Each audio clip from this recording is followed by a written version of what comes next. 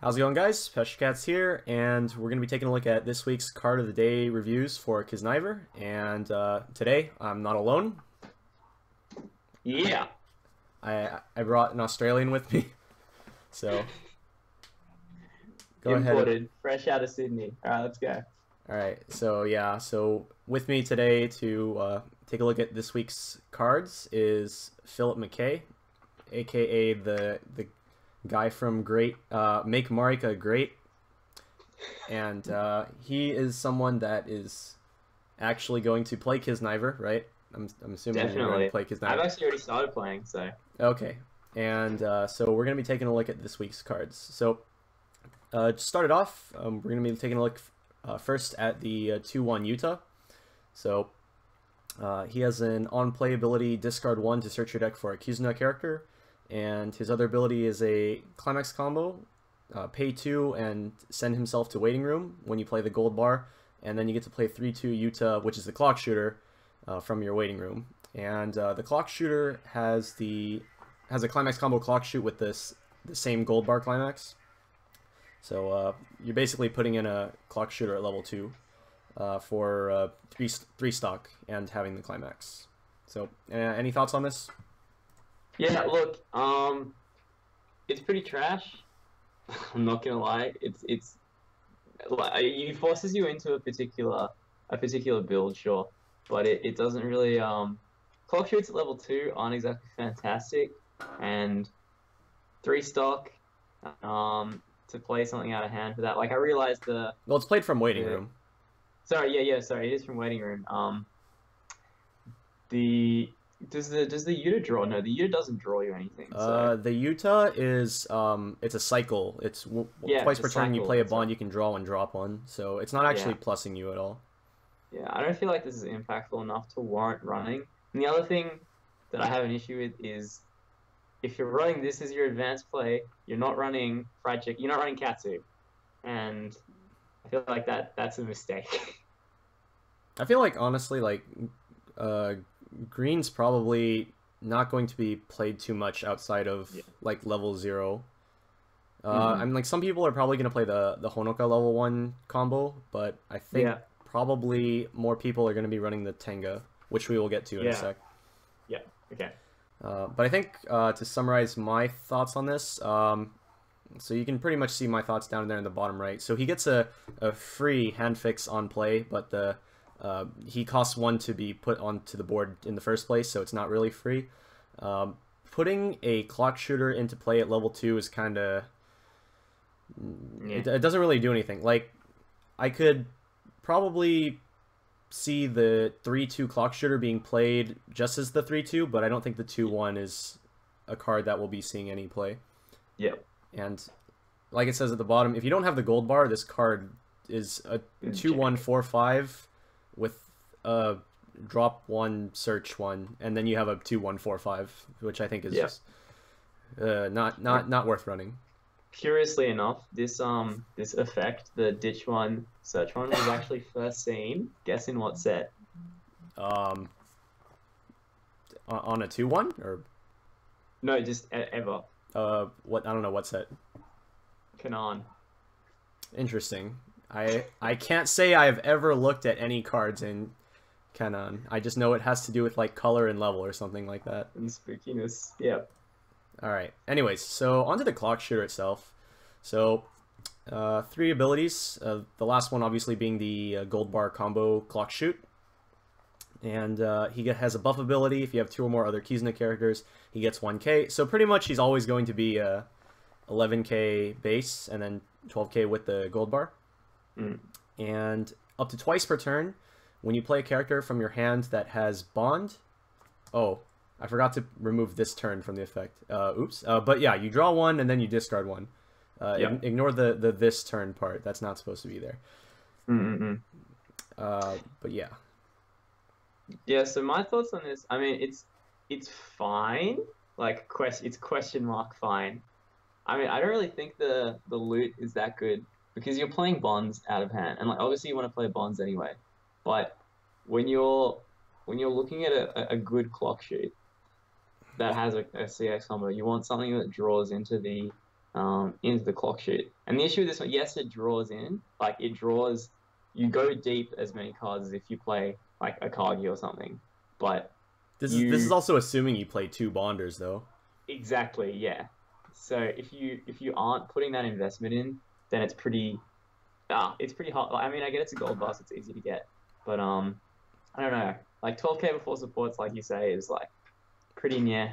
Yeah, like you could it can easily be you can easily get above that with like having like a decent sized level three with like a support and like a, a counter. Yeah. It's it's like very very very minimal effort. Yeah. Um I just I, I I don't see it being um good enough in what I think is the best build. Um but I think it's possible that like you just you have no that you have no other finisher and you feel like you need a finisher so you play this because it's more generic than all the other ones. What in my opinion is like one of the biggest problems with this card is so like his second ability it triggers when you play a bond. But Yeah. okay, let's let's assume that you play this without the 2-1 like we were saying, right? Mm-mm. at that point like like what are you even playing bonds for like at that point you should probably just be playing like i don't know more copies More of this or or Yeah. m- just other level threes that are actually going Yeah. to impact your late game Yeah, exactly. Yeah. Like like I, I, I, I, yeah, I feel like that's such a redundant effect. I think the only like situation that you would be playing a bond in is like if you are trying to get like perfect damage at which Yeah. point like at which point you probably don't even really need to dig for stuff with his effect Well, if you're trying to get perfect damage and you have a clock kick, you don't need perfect damage because a clock kick is a perfect damage. Like it's one perfect Yeah. damage.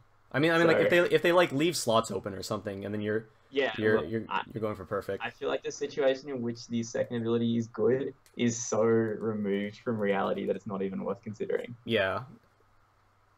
Yeah. Like Oh. it, like occasionally, occasionally you're gonna play a bonder and you're gonna like randomly top deck a gold bar, but like if you don't already have the gold bar in your hands, you then like then what are you doing? Mhm. All right. I mean, you, you mentioned it turns your bonders into a draw one, ditch one, which is great, but not fantastic when you have a zero zero support that turns your bonders into a ditch one check top into Yeah. Akatsuki, yeah. Um, so I think one thing worth quote unquote considering is that if you have the zero zero Yuta, when you play a bond, you're getting like you you milling like five cards deep or something, which is like super spooky. But um, and you also get fifteen hundred power, which is super spooky, and then you can like sack the bond and give it another twenty five hundred Okay. power for like Yeah, you, you can, you can definitely do that. But it's so like you. This actually kills your hand size. Like you have no hand after you play this. Full Yeah, this card doesn't actually get any advantage on its No. own, so. Yeah. All right. So Okay. I think in the end, I think we can agree Average. that like the card, the card is like, it's like somebody's gonna, some people are gonna play it because it's a climax combo clock shoot. It's not a terrible card. At least he looks happy in his climax. Yeah. a uh, fat boy. So with gold bars and toothbrushing, jeez. Uh, Nisemonogatari things. Yeah, whatever that was. Oh boy, here we go. All right, so next up we have one zero Tenga, and I actually mistranslated this for the first like 30 Mhm. seconds that it was Yeah. uh, on on foreign, Yeah. and then I immediately fixed it, and it's actually Mhm. a pretty big difference. So uh, so this is this Enormous. is the the Tenga double R. Mhm. Um, for each of your other Kizuna characters, he gets a 500 buff. So on a full board, he's going to be a 6k uh, before Yep. supports. And uh, climax combo with the wind. If he reverses the opponent, you look at up to two cards from the top of your deck, and you can choose up to two cards that are level one or higher from those two cards. Uh, add them to your hand, and then send the rest of the Yep. living room. So basically, if you reverse your opponent, you look at the top two cards of your deck, and you see two cards that are level one or higher. You just plus two for zero cost. It's- Yep. So if you want, yeah. do you want the numbers on this? Um, you're probably better at that than I am, so go for it. Okay. So roughly, when you hit, when you at the time when you're going to be hitting this, considering that you're also running um, the zero zero pay one center memory check top four, the early play condition for fried chicken, and um, the uh, zero zero Yuta as well, you're going to be at roughly 25 cards in deck, of which um, approximately um, 70% of them will be level one or higher. So your probability to hit two off one is 50%. Your probability to go to go plus four is 25%. That's insane. That's off two. That's off two Tengas. I'm talking off two Tengas. So it's pretty much Like- so it's pretty much a coin flip. Well, no, your probability to go, well, your probability to go plus one is like over 90%. Uh, on, oh, sorry, your probability to go plus two, I should say, is over 90%, assuming you have two Tengas. I'm just assuming you have two Tengas here. Um, I feel like three is completely overkill. Um, because you're actually more likely to go over hand size than not, which is super, super crazy in my opinion. Um, like this is, this is one of those things where like people looked at Maguro and they were like, "Oh, Maguro, it's like yeah, Maguro," and um, Maguro is crazy. Like Maguro is a crazy, crazy card, and people who haven't played Maguro don't understand how often you go above hand size with an effect like that. And this is Maguro on like straight roids in a deck that has so many bond effects. Like as soon as you drop this card, and from having played it, I mean I've played like 12 games now running this Tenga build. Anytime that you get double Tenga and you get gas off it, like if you go plus two or plus three, you just you win. Like you you can't lose from that point because you spent no resources. You have an enormous amount of hand, and you just you've gone so far into your deck. Like you refresh it like one two. It's crazy. It sounds like uh, every CG deck ever. Yeah, well, yeah. Except you know why it's, it's better than CG. Mm, You grab you grab two cards. You Well, grab it. You grab no idle trash on it. Oh, all right. The shots being fired of you. Okay, so yeah, uh, something that we didn't specifically mention, but I mean, like it's been sitting there on the screen for like a good two minutes. So, uh, Yeah. but this card can grab events because uh, if you read the text, it says choose up to two cards that are level one or Yeah. higher, and um, Mhm. this is especially relevant in this deck because yeah. there's lots of very relevant events. Like the heal counter event from two weeks ago is uh, Yeah. definitely a very relevant card. There's a couple events coming up uh, that are Yes. also very, very relevant. Uh, I think the only Mm. thing that could have possibly made this card more stupid is if it had a bonder. Thankfully, it doesn't. Or so far, so far it doesn't. If this card gets a bonder, then we're actually in like stupid territory. Yeah. See, the the issue that I'm I've had sometimes is like, which is the same issue that you have with other decks which rely on climax combos, I guess, which is like I need to draw my Tengas. And you need to draw a need to draw- climax. I need to draw my climax. Now, obviously, drawing into Tengas is much easier than drawing into climaxes because you have you know seven thousand ways of digging through your deck. Um, and, and we also have we also have the event that's coming immediately after this. Yeah, exactly. You've got that as well. But um, yeah. If you if this and I think that's like the only thing that possibly keeps the Honoka still in the game. Like the it's Honoka's still in the game right now, but having that bond is going to help a lot. If this does end up having having a bond, then there's literally no reason to run Honoka because this is just crazy. Yeah, this if this gets a bond, like uh, he- hello, yeah, Hello. okay. Um, was there anything else to note about? I think that was pretty much it for this card. Um, Crazy. I feel like there was one more thing that I was gonna say. I'm, I'm sure I'll come up with it later if we just. Yeah. All right. Anyways, um, so next up we have the one-one red event. Oh, I remember Mhm. what I was gonna ask actually. So, uh, Yeah. so in a deck where you're playing the one-zero Tenga, uh, assuming Mhm. like your your hand fills up so much, like what do you Yeah. what do you pick for second climax? Do you still pick a, uh, like a gate or a pants? Because those are both those are both in my opinion relevant climax combos that can be run. Yeah. So right now I'm running Tenga and fried chicken. So Um, so four wind, four gate. Yeah. and then like bodyguard for bodyguard plus heal Bodyguard counter top end. Chidori. Yeah. Seems- Bodyguard Chidori endgame. Yeah, seems pretty simple. and basically just walling off with the three one event and the the other counter event that's coming up. All right. Okay. So um, next we have the one one event. So salvage Hmm. a Kizuna character, and then you can choose uh, choose one of your opponent's cost one or lower characters in the front row and just kill it. Yeah. So you like other other sets have like a one one event that salvages a character and gives like one k power, and this is Mhm. salvage a character and then just straight up kill something, which I Yeah. think is ridiculous. There, there's not even like a a restriction on like like you need like two or more Kizuna characters to play this Mm. event, which I think is absurd. Yeah. Well, I think I think it's a crazy event, but it's very it's a weird non-bow because you want to be reversing with Tenga and you're probably also running the 1-0 bomb. So, I mean, I, I realistically, while this is like such a crazy event, I don't know if it actually has a place because you want your opponent to have stuff on boards that you can have value. Unless, of course, you want to like kill something in front row and then put a bomb in front of it with that open slot and force them to have to swing into a bomb. I, I just- think I think this would be okay as like as like a one of because like you said, like ideal situation is you play two Tengas. So if your opponent fills their front Mhm. row, you use this to pop Yeah. one, and then you use Tenga to kill the other two. Yeah, that's that's what I'm thinking. And I think Tenga Tenga doesn't have any problems reversing things because like you got a 1500 buff from your Yuta, you got a 1500 buff from the, the the fried chicken condition. It's really easy to um to get him up. So I think that's yeah, it's it's a weird. I haven't tried it yet. I'll be honest, but um I'll play around with like one or two copies and see how it goes. Um, it is really good value though. It's crazy. Yeah, I, I think I think one of is one of this is like a, a good number. It can grab your Tenga if you if you like bend it off of your uh, Yuta effect or something like that. So Yeah, I think I it- the other thing nice as well with this is um because because Naiva doesn't have as of yet a way of digging during main phase into your um, waiting room, um, other than Bond.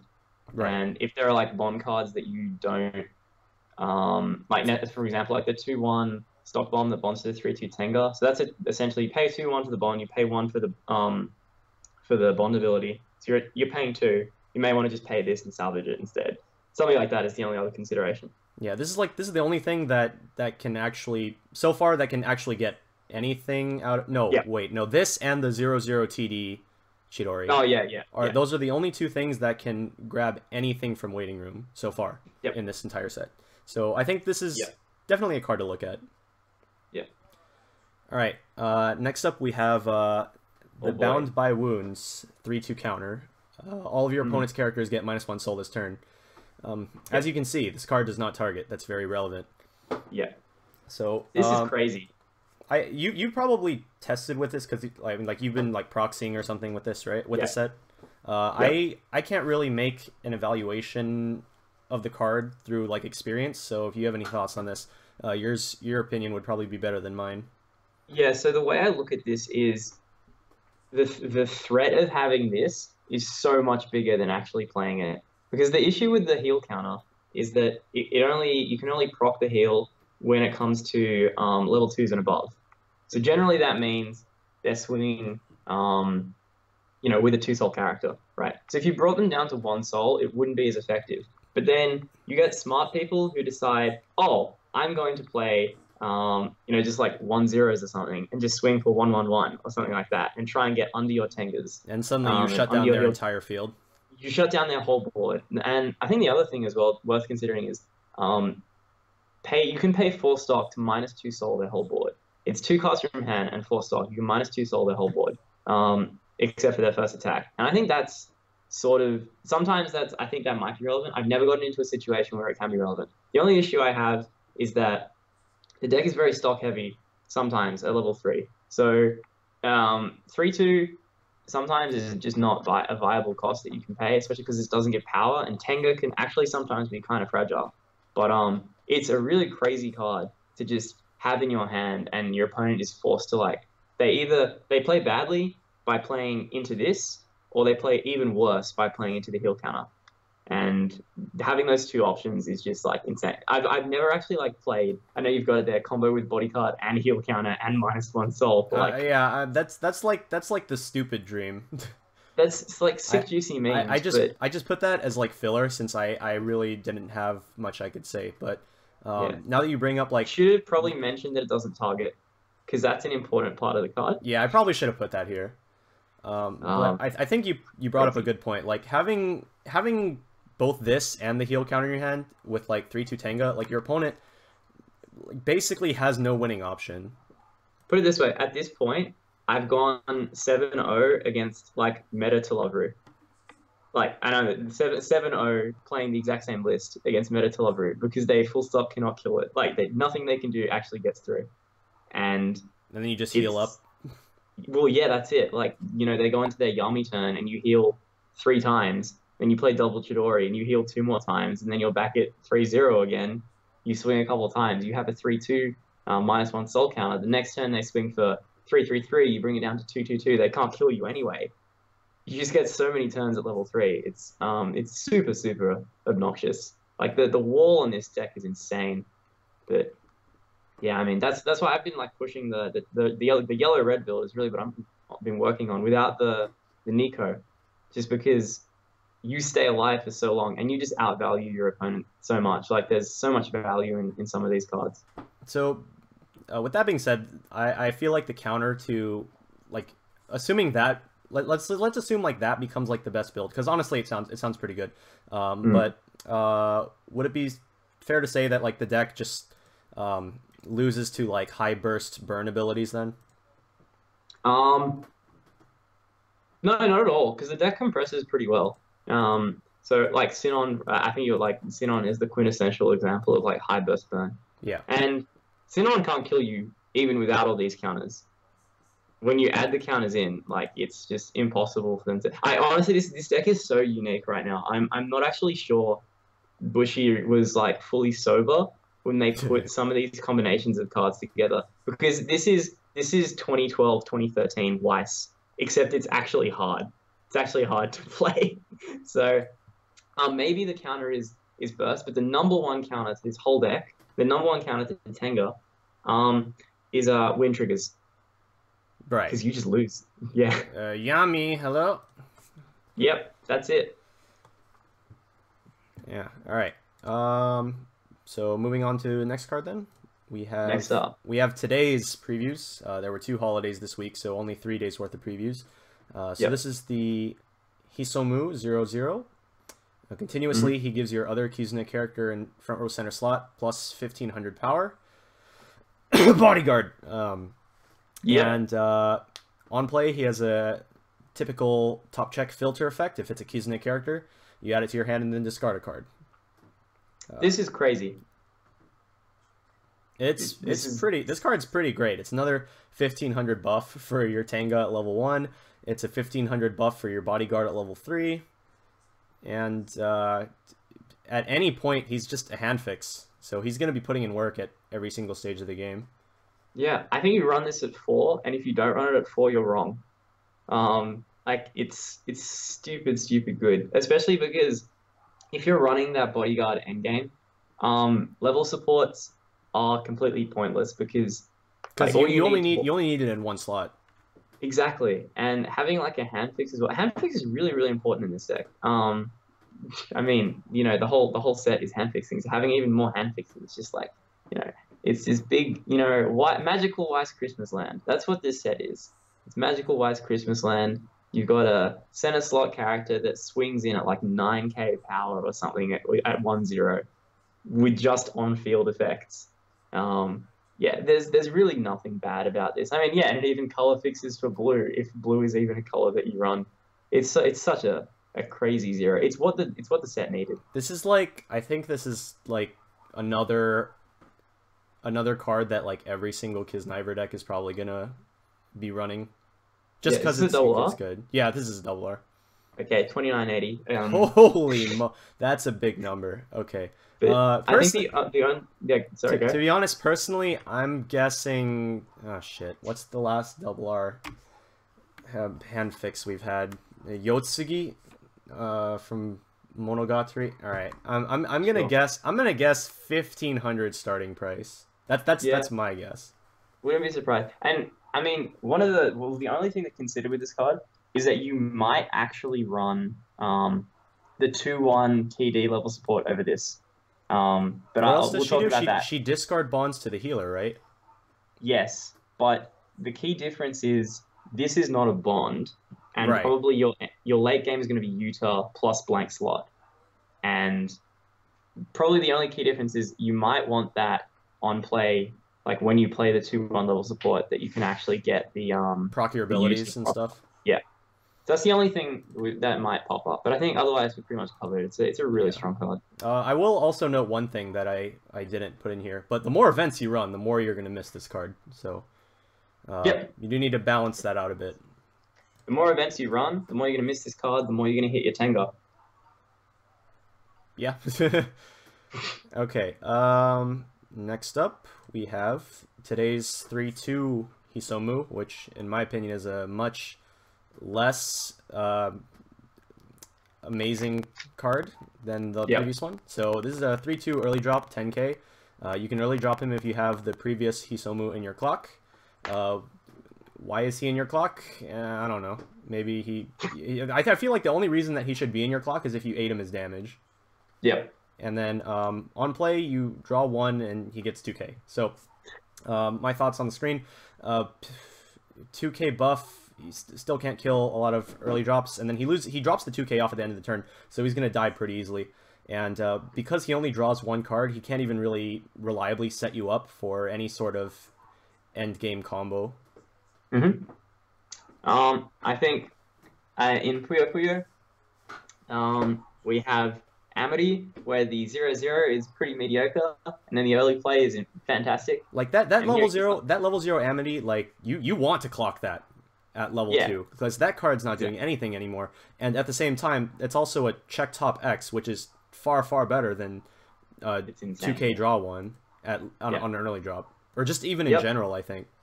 hmm definitely. And then um, this is like you know the only thing I would add to this is that he kind of he kind of looks like that guy from the album cover of the Gorillaz. I don't even know if anyone. Uh. Yeah, I, I see what you're talking about. Okay, yeah. But- it's the it's, yeah, the, it's the mouth. It's the mouth. yeah, it's the mouth. Yeah. Otherwise, I think this is super unplayable, and the only reason you'd run this is because you're running mono blue. Yeah. And even Um, then, you'd still just play the Gomerin thing. I, I think it's a good thing that this is an uncommon because this card is not very good. Yeah, pretty jank. All right, and then last card. Um, the last line says it all. So this is the zero zero Katsuhira. Um, another uncommon, thankfully not taking up higher rarity slots. Uh, he has the the dreaded double downside, which if you guys watch my videos, you guys know by now I hate double downside on just about anything. Uh, so he can't side, and on play, you reveal the top card of your deck, and if it's not a Kizuna character, send it to clock. So, um, remember how we said if you top check uh, an event with the Hisomu, you you don't get to add it to your hand and discard a card. Well, this one, if you play it and you top check an event, you just like straight up hit yourself. Yep. I think I would rather run the um the trial deck. Trial deck can't can't side Honoka. Yep. Instead of this, I think the only thing is that like it is 4K, and I don't know if you really care when you're at zero if you send an event to your clock. But I mean, the list that I'm running right now has six events or something in it, and plus the the climaxes. You know, you have a decent chance of hitting this. And is it really worth it for a 4K at level zero when everyone every major set runs bombs, except for does does TP run bombs? Uh, yeah, you yeah, uh, TP decks typically run the red bombs. Right, yeah. So you, every every major set has bombs. So 4K is not as relevant now as it was in 2011. Um, but uh, yeah, it's it's probably not even worth decking un- unless you need red fixing, which you shouldn't. I, I think just based on what we've already seen for zeros, like there's there's not even too much room for like beaters in general, let alone one that's as bad as this. Yeah, exactly. So uh, that At least it's got nice art. Yeah. well, there, there, there's plenty of cards in this set that have that have nice art. So It's got men on them. Okay. All right. So that pretty much sums up our card of the day reviews for this week, and uh, look out for our TD review, which we're going to be recording right after this, and I'll be posting after this video. So uh, keep a lookout for that. And until next time, this has been Peshcats here with the Phillip McKay. Stay tuned. What he said.